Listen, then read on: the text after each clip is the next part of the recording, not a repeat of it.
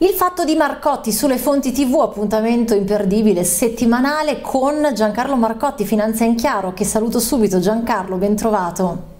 Grazie Emanuela, un saluto a te come di consueto anche a tutti gli ascoltatori. Peraltro oggi sei stato evocato anche in altre parti della diretta perché abbiamo affrontato discorsi che secondo qualche altro mio ospite solo tu puoi trattare, poi ti dico di cosa sto parlando e vediamo cosa ne pensi. Allora, detto questo, scenari economici e politici, partiamo sempre da un recap generale rispetto alla situazione eh, nella quale siamo, ovviamente non è la prima volta che ci sentiamo inizio 2020 2022, però insomma mano a mano che questo 2022 adesso va avanti si aggiungono dei tasselli che non possiamo non eh, prendere in considerazione. Al di là di tutto ciò che ruota intorno al Covid e le decisioni che sono state prese, insomma regole che diventano sempre più stringenti, l'obbligo vaccinale per gli over 50, adesso il Super Green Pass anche per salire sui mezzi pubblici, sui mezzi di trasporto, ovviamente per andare al lavoro che eh, chiaramente cambierà anche il modo di gestire la quotidianità, eh, ci sono altri temi, e questo sicuramente è un tema che ci portiamo dietro da un po', quello del Covid, ehm, ci sono altri temi che non ci abbandonano, l'inflazione, la situazione eh, dei conti pubblici italiani, quindi il debito pubblico, le decisioni che il governo sta prendendo appunto che ci proiettano nel futuro. Allora, facciamo un po' il punto, eh, è non è cambiato granché rispetto a, a qualche tempo fa, insomma, quando ne abbiamo parlato in altre occasioni. Sì, però alcune cose che erano state messe un po' ai margini in, dal punto di vista mediatico, nel senso del quale non si parlava molto, se ne è parlato un po', però insomma se, a mio avviso non si è dato il, il giusto risalto. Queste, questi accordi tra Italia e Francia, questo patto Macron-Draghi. Sì, ne avevamo parlato delle... io e te, certo Esatto, sarebbero delle cose che potrebbero avere degli sviluppi eh, importanti, insomma, in chiave MES, tanto per dire, però magari ne parliamo successivamente. Cioè, il fatto è che eh, ci sono appunto due cose, una l'Italia, l'altra diciamo il mondo, l'Europa o il mondo. È ovvio che l'Italia comunque eh, non può prescindere da quello che succede in Europa e nel resto del mondo però obiettivamente queste nuove misure così stringenti le sta adottando soltanto l'Italia, o meglio, eh, mentre da altre parti si, eh, così, eh, le, le, misure vengono un po' allentate, da noi invece a, avviene il contrario. Quindi questo è un aspetto molto importante, eh, cioè perché in Italia eh, eh, questo, questo, problema è visto in maniera più grave rispetto ad altri paesi. Ed effettivamente qua mi trovo in difficoltà a dare una, mm. una risposta, perché sì è vero che non abbiamo il sistema sanitario migliore al mondo, che in qualche altro paese europeo è migliore rispetto al nostro, ma insomma non siamo neanche però al, al, al collasso, abbiamo le terapie intensive poco affollate, eccetera. Per cui si fa un po' fatica a capire perché in Italia sono state prese queste decisioni così drastiche. E questo appunto, uh, mentre nel, nel, resto del mondo, poi eh, c'è sempre nel resto del mondo, ma eh, hai preannunciato tu, ne parleremo in, durante la trasmissione, L'altro aspetto fondamentale, cioè derivante dai prezzi petroliferi e comunque dell'energia, che, che, che alimentano questa inflazione che ormai si fa sempre più fatica a considerarla transitoria. Cioè oramai anche la BCE mm. insomma, ha, dovuto, ha dovuto dire che il problema inflazione sarà un problema che eh, che dovrà essere affrontato. Insomma. Beh, Quindi certo. questi sono i due aspetti, Italia, Europa, mondo. Ecco. Italia, Europa, mondo. Peraltro, beh, una nota di più di colore, Macron ha detto che in Italia siamo fortunati ad avere il Presidente della Repubblica, un Presidente della Repubblica come Sergio Mattarella e un Presidente del Consiglio come Mario Draghi. Beh, Mattarella tra poco, ecco, altro tema che, che, terrà banco proprio tra pochissimo è l'elezione del Presidente della Repubblica, insomma, ma potrà cambiare qualcosa? Sì, potrà cambiare molto, anzi eh. Eh, è l'appuntamento più importante eh. a breve termine, ma anche... E no, appunto, siccome Macron ha detto siamo fortunati in Italia ad avere un Presidente della Repubblica come Mattarella, però insomma tra poco non sarà più lui, quindi eh, bisognerà vedere chi sarà al posto suo al Quirinale, no?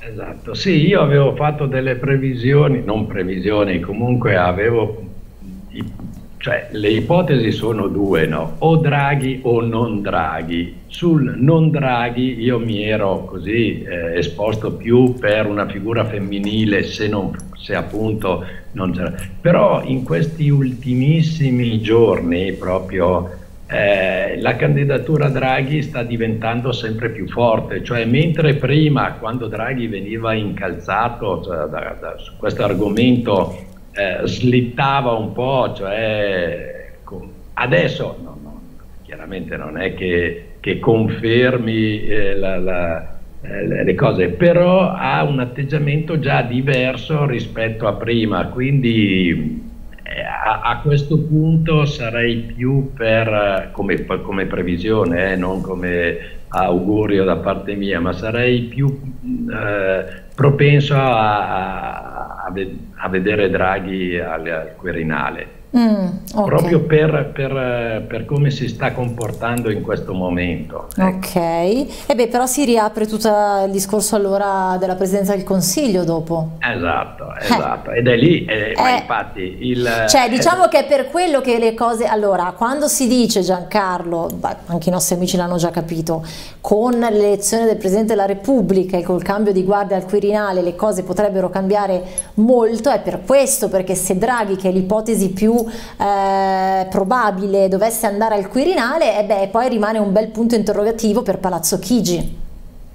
Eh, tutto sta lì. Eh, cioè, fai una domanda a quale naturalmente la risposta non c'è. Eh, no, lo so benissimo perché... Eh, noi, noi, sappiamo che eh, se Draghi dovesse andare al, al Quirinale, il problema Palazzo Chigi, cioè il problema di che governo ci porterebbe alle elezioni è un problema insomma, difficile da risolvere, ecco. perché anche non si riesce a trovare una persona che, che possa così sostituire Draghi in questo eh. momento. Mm-hmm. E in più, ecco, eh, noi sappiamo che le prossime elezioni saranno elezioni che sconvolgeranno il, il quadro politico italiano, oltretutto per, anche per il numero inferiore di deputati e senatori. Vero, vero, assolutamente, quindi, perché cambia, certo, certo. Quindi, questo è, è, un altro aspetto. C'è da, da dire che però se adesso stiamo veramente facendo della fantapolitica, no? perché non abbiamo assolutamente certezza che questo avverrà, eh, stavo dicendo però è anche vero che se Draghi dovesse diventare il Presidente della Repubblica eh, sarebbe lui poi no? a dare l'incarico a un ipotetico, cioè a, dare, a, a chiamare il Premier incaricato e quindi questo l'avevamo già un po' valutato anche io e te in un'altra puntata, quindi chiaramente mh, tenderebbe a scegliere scegliere probabilmente uno dei suoi che porterebbe avanti l'esecutivo come lo sta facendo lui. Certo non è Draghi, però insomma la linea sarebbe quella. Allora, se in questo momento ci sono già frizioni all'interno del governo, mm. se con Draghi alla presidenza del Consiglio, quindi mm. già mh, in, in questa situazione ci sono frizioni all'interno del governo, Immagina, Manuela, se anziché Draghi ci fosse un'altra persona e poi non è lì da, non è da immaginare, è chiaro che ogni giorno che passa è un giorno di meno eh, rispetto alle, alle, future elezioni, quindi insomma i partiti eh, sappiamo tutti che in fine di legislatura l'unica cosa che hanno in mente è la campagna elettorale per le elezioni successive, non hanno in mente il governo. Dire, hanno in mente che, di, di, di, guadagnare eh, seggi in Parlamento. Quindi eh, è chiaro che lo nominerebbe Draghi, ma eh, che governo nascerebbe? Un, io non, cioè assolutamente un governo con il 90 e rotti per cento come ce l'ha Draghi in questo momento sarebbe assolutamente impensabile. Quindi secondo me nascerebbe un governo molto più debole rispetto a quello di oggi e insomma non, sarebbe un, non è una cosa semplice, diciamo che è un puzzle difficile da, da mettere assieme. Ok, allora, secondo titolo di oggi, rientro a scuola e Covid, siamo sempre in ritardo, ti chiedo questo nel senso che Ovviamente a causa della, dei numeri che poi cambiano da regione a regione, insomma elevati di contagio, eh, oggi di fatto le scuole si sono riaperte dopo la pausa natalizia, ma di fatto è come se non si fossero riaperte o comunque non sappiamo fino a quando rimarranno aperte, senza contare che le, le regole che sono state stabilite alla base sono molto molto stringenti, nel senso che per esempio con due positivi in una classe si torna alla didattica a distanza, quindi è chiaro che in un momento come questo è abbastanza facile facile avere due mm, persone positive, no? eh, magari in una stessa classe. Ma comunque, cosa ne pensi? Siamo sempre in ritardo, cioè era una cosa che potevamo prevedere prima e se sì, quindi non a, a, a, data, già, eh, a data già arrivata no? per l'apertura delle scuole e se sì, insomma, cosa secondo te eh, si sarebbe potuto mettere in conto? Ma eh, Manuela, io sono, sarei perché non ci fosse nessuna restrizione per le scuole. Cioè, è vero che nella scuola non entrano solo ragazzi giovani, cioè quelli sono gli scolari. Eh, in una scuola ci sono anche i professori, i bidelli e altro personale eh, che, che, appunto non, non rientra tra, nel, nella categoria dei giovani o giovanissimi. Eh, però insomma la, nel nostro immaginario la scuola sono i ragazzi. I ragazzi sappiamo che non hanno grossi problemi per quanto riguarda il Covid, anzi hanno dei problemi praticamente irrisori e invece hanno dei grossi problemi per quanto riguarda l'insegnamento, cioè anni di scuola persi. Noi teniamo conto che eh, eh, la DADA potrà anche essere il futuro, ma di sicuro nel 2000, e, e, cioè quando abbiamo chiuso tutto nel 2020, eh, di fatto, di fatto, abbiamo fatto perdere un anno di scuola ai nostri Ma certo, ragazzi. assolutamente, beh anche perché non è che lo dici tu e non lo dico io, proprio se, se è stato fatto un bilancio anche di, di, quello che ha significato la DAD per i ragazzi, cioè l'educazione scolastica è stata veramente penalizzata mh, e lo dicono gli stessi insegnanti, no? quindi insomma eh, figuriamoci se continuiamo. Eh, dato che io io sono una persona che insomma, per motivi familiari, eccetera, così, sono molto legato alla scuola, eh, pur non avendo mai insegnato nella mia vita, ho dei fratelli che hanno insegnato tutta una vita, ma io non ho fatto quella, quella carriera. Ma, eh, però insomma sono una persona molto legata alla scuola, quindi io vorrei sempre le scuole aperte, vorrei sempre le scuole piene di bambini e di ragazzi che che apprendono, che imparano. Certo.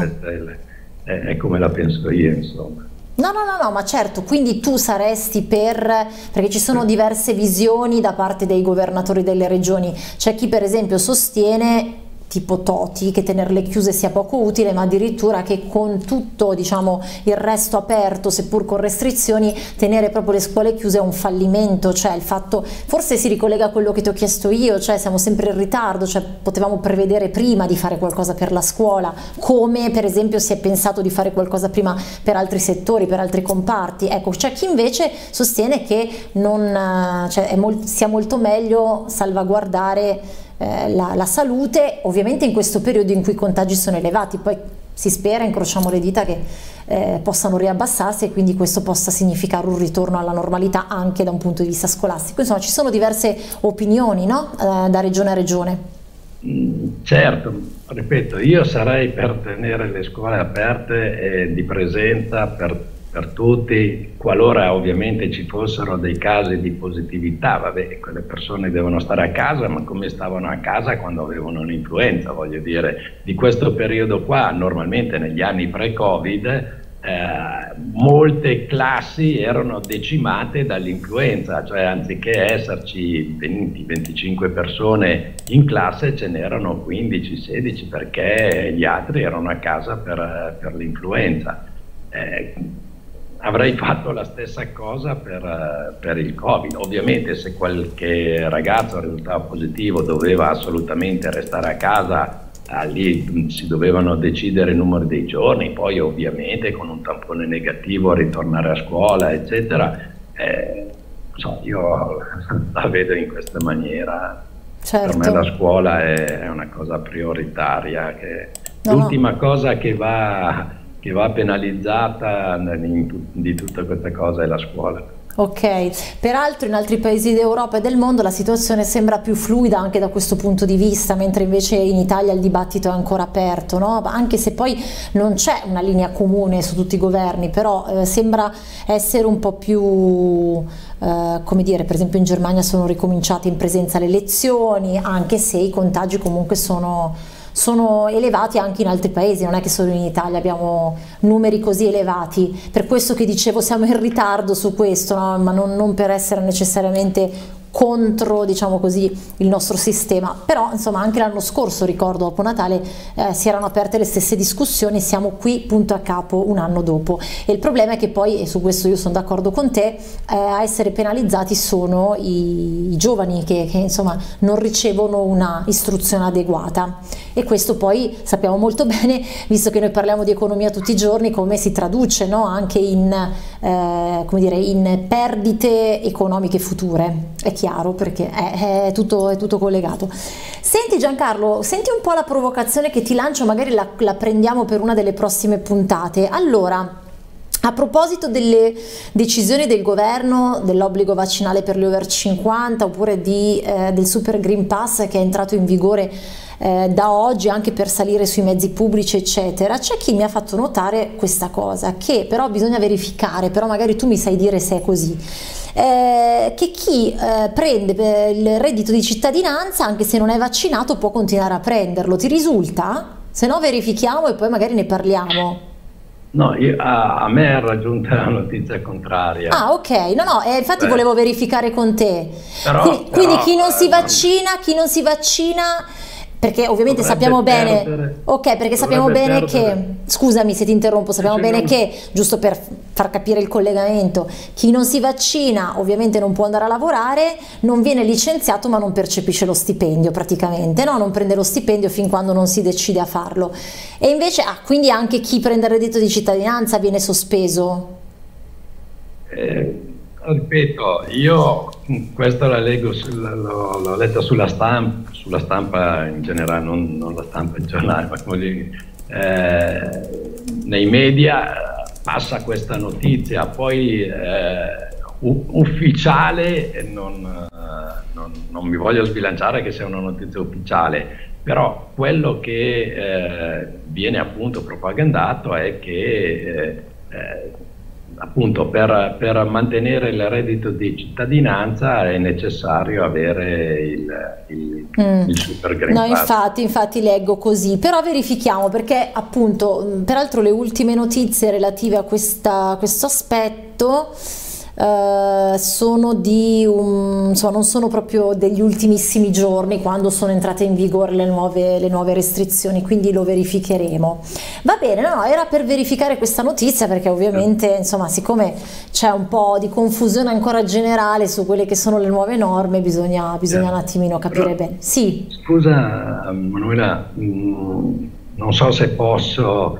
Eh, Dimmi diciamo, utilizzare il, eh, la vostra TV che ovviamente se io ne faccio parte vuol dire che ho grande stima in voi, sì. eh, in, in, le fonti TV, però appunto eh, mi sembrava doveroso a proposito di, di questo fatto, cioè del, della questione eh, no, Green Pass e della, e della questione obbligo vaccinale, eh, far notare una cosa, a mio avviso, di una gravità oltre ogni limite, cioè quello che è accaduto a Lucca, è una ah, cosa ah, sì. di una gravità incredibile. Quindi eh, io mi rivolgo alle persone che eh, appunto sono favorevoli al, al, vaccino, che naturalmente hanno tutte le, le cioè il, il dovere anzi eh, di,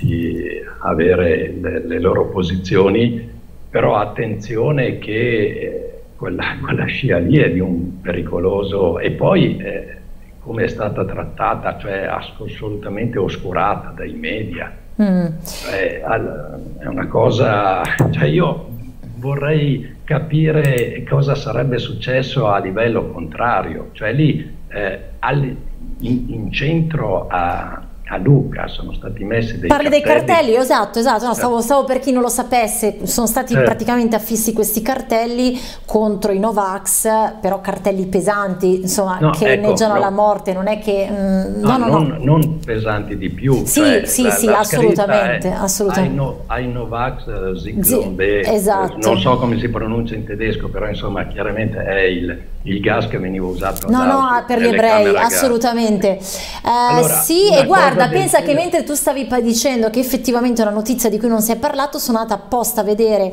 eh, cercando effettivamente compaiono pochissime notizie. Certo, compaiono su giornali locali, che ne so, Lucca News, eccetera, ma cioè, immaginati eh, solo, io, ma io lo, lo, dico con assoluta, immaginati al contrario, no, cioè, se fossero comparsi dei, dei, dei ti posso dire, uguale B. Ti posso, dire, ti posso dire in generale ancora di più, Giancarlo, visto che giustamente non si può inneggiare al fascismo, al nazismo, eccetera, cioè vale per tu, indipendentemente da che eh. ci si, si rivol ci si rivolga al vaccino del Covid, in generale deve valere per tutti, cioè quindi non si può fare riferimento a periodi appunto nazisti, fascisti e, possiamo dire di dare, di somministrare ovviamente ai Novax, ma come a chiunque altro, il gas che veniva dato agli ebrei per sterminarli, insomma. No, no, no, hai fatto benissimo a, Io, a eh, dirlo. Eh, sai, ho, ho approfittato di, una, di, un canale come vostro, a parte che va in tutto il mondo ovviamente, ma eh, perché... Eh, ti sei sempre dimostrata una, una, una, giornalista seria, altrimenti non accetterai di essere qua, insomma non è che debba fare i, i complimenti in questo momento no, perché no, sono no, scontati, ma... no? Mm. Eh, quindi questo è un, un, aspetto che secondo me, cioè il, il, il fatto che, che compaiano cartelli di questo genere qua, poi anche vabbè, non entriamo sulla, però è molto difficile, dato che sono stati fatti in... Guarda, l'abbiamo anche che... messo il cartello, eh. grazie alla mia regia, guarda, eh, grazie mille, ah. questo è il cartello che è comparso a Lucca, eh, ecco. Mm. In, in, eh, sono diversi e in centro, con tutte le, le, eh, le telecamere che abbiamo nei centri delle nostre città è difficile che nessuna abbia mai inquadrato la persona che ha attaccato questi vari cartelli o le persone, non so se sono uno o più di una. Eh, quindi anche questo, se, cioè creare questo clima di odio, attenzione, ce lo sto dicendo, soprattutto mi sto rivolgendo a coloro che, ripeto, giustamente dalla loro parte sono favorevoli al vaccino, attenzione che questa cosa, proprio la, la, la china diventa pericolosissima, cioè cercare di, di, di No, allora, no, no, no, no, certo, allora c'è da dire una cosa, guarda, è un suggerimento che mi ha dato Alberto dalla regia perché stanno partecipando, è interessante questa discussione. E poi chiudiamo. E comunque grazie sì. per averne parlato, no, giustamente Alberto diceva, non è che tutti quelli favorevoli al vaccino, possiamo... no, no, no, no, no, ma lo so che tu non stavi dicendo questo Giancarlo, lo diciamo per completezza di informazione, ci mancherebbe ah, altro.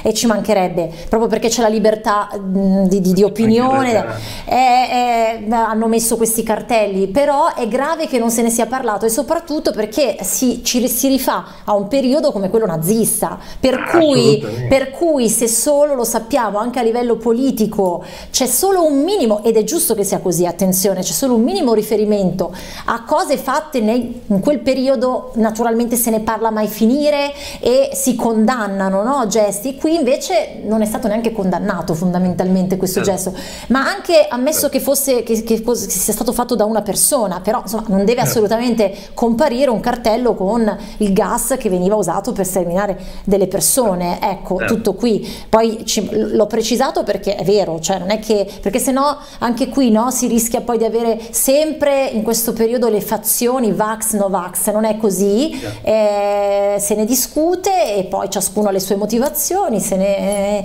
e poi al di là delle decisioni che vengono prese a livello governativo che, che non dipendono da noi, insomma. Perfetto detto Manuela, un discorso quello che hai detto che sottoscrivo in pieno. Okay. Allora, dato che siamo in chiusura, sì, ritorniamo sì. sulla nostra roba, magari ne parliamo la prossima volta, però sì si sta cominciando a parlare di greenflation, eh? cioè eh. l'inflazione dovuta alle politiche green. Quindi vero, questo sarà un altro argomento che, che dovrà essere affrontato. Sì, affrontato. sì, sì, lo, lo segniamo assolutamente in agenda. Saluto anche ci hanno scritto più, più persone, questo, persona che risponde, questo amico che risponde alla domanda che c'era prima, se siamo in ritardo ancora una volta sulla scuola, dice ciao Manuela, sì anche perché i contagi negli ultimi 15 giorni sono aumentati e le scuole sono chiuse dal 23 dicembre, come dire che forse bisognava un attimino ragionare prima su eventuali soluzioni che poi magari non sarebbero arrivate lo stesso, però non arrivare il 10 gennaio a dire che fare con la scuola, quando le aule in teoria sono già aperte, anzi in pratica. Va bene, Giancarlo Marcotti, come sempre tanti argomenti di discussione, ritroverete questa puntata sul nostro sito lefonti.tv da cui ci state seguendo e sul nostro canale YouTube, naturalmente anche eh, Finanza in Chiaro con Giancarlo vi aspetta con i suoi video quotidiani, noi ci risentiamo settimana prossima, grazie Giancarlo. Grazie a te Emanuela e come di consueto un saluto a tutti gli ascoltatori. Grazie mille. E allora noi chiudiamo questa prima parte di live, adesso vi lascio in compagnia del nostro palinsesto, dei nostri approfondimenti, seguiteci anche sui social, siamo dappertutto e poi torneremo alle 14.30 sui mercati in diretta con Giacomo Iacomino e i suoi ospiti. Grazie per averci seguiti, siamo a vostra disposizione.